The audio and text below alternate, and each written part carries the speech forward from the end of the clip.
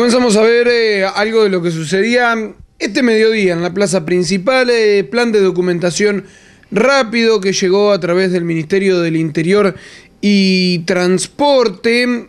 Va a estar también en la jornada del martes y del miércoles en el horario de 8 a 18.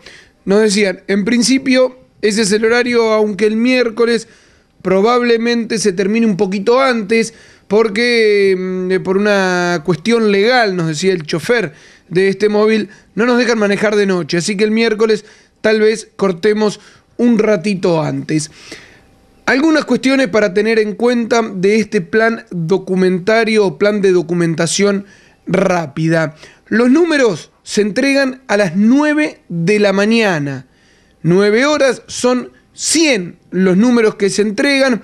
Nosotros le preguntábamos si durante el resto del día se entregan números y la gente encargada de este operativo nos decía, si de arranque no damos los 100 números, sí, va a haber más. El tema es que a las 9 de la mañana entreguemos todos los números, bueno, después no, no vamos a tener más posibilidad de atender a la gente que vaya llegando, así que les decimos a los que puedan por lo menos que se presenten a las 9 de la mañana o un ratito antes, hoy ya desde las 8, eh, 8 y media, había cola. También esto se da en un contexto en el cual el registro civil no venía realizando documentos porque tenían un problema en una de las computadoras encargadas de este tema, por eso también la demanda está siendo tan importante.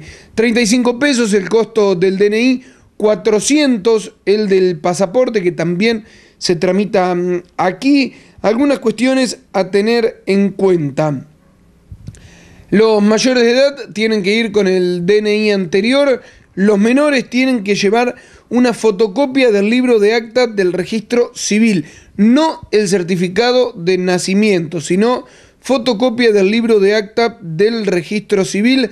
Hablamos de menores, todos aquellos menores de edad que no tengan la actualización del DNI realizada algunas dudas que nos sacaban los responsables de este operativo. No se inscriben bebés en este operativo, es decir, por más que tengan toda la documentación, si el chico no tiene documento, aquí no pueden hacerse el primer DNI y solo se realizan trámites para argentinos nacidos en el país, algunos de los datos. En todos los casos, ya sea pasaporte o DNI, el mismo llega en 15 días a la casa de la persona que lo tramitó.